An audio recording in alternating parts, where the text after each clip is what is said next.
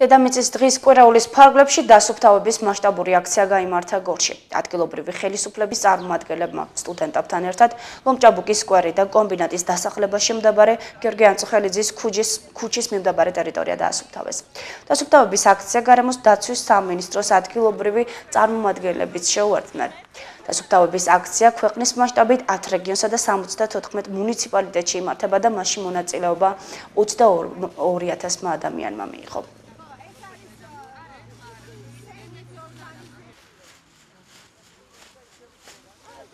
ქალაქთან ერთად ბუნებრივია ჩვენ ყოველთვის ყველა ღონისძიებაში ვართ ჩართული სიამოვნებით ვიღებთ მონაწილეობას ქალაქის დასუფთავებაში.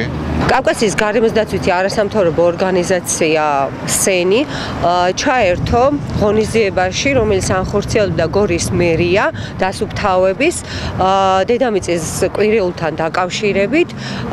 ჩვენ შეუძინეთ ორგანიზაციამ 300 თათმანი, სამუშაო ხელთათმანი და 200 პარკი. მე მინდა ასე მადლობა გადაუხადო არასამთავრობო ორგანიზაცია სენს, რომელმაც გადმოგცა ხელთათმანი ადამიანები და თელის ანუ პირობები შევიქნა იმისათვის რომ უფრო კარგად მოხდარიყოს დასუფთავება და აქედან გამომდინარე დღეს სამი ლოკაცია გვაქვს კალაგორში აქედან ახლა გადავინაცვლებთ კომბინატის დასახელებაში და ასევე ვერხობზე დევნილთა ჩასახლებაში სადაც ერთობლივად მთელი ქალაქი გამოსული ვარ და ქალაქს ვასუფთავებთ